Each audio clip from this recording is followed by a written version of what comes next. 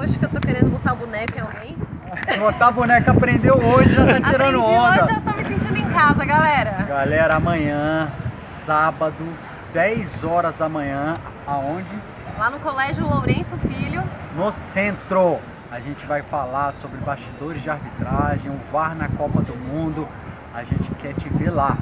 Compareça, hein? Compareçam e a gente se perde. vê lá amanhã. E vai ter sorteio de uniforme completo de Se o arbitragem. sorteio der errado, vai ter VAR. Vai ter VAR. Relaxa, vai ter tá? VAR e vai ter também sorteio de boné e cartões e principalmente vai ter uma interação. A gente quer trocar ideias com vocês e bater um papo bem legal. Então apareçam lá amanhã, 10 E, horas. e vai falar por que, que você não apitou a final.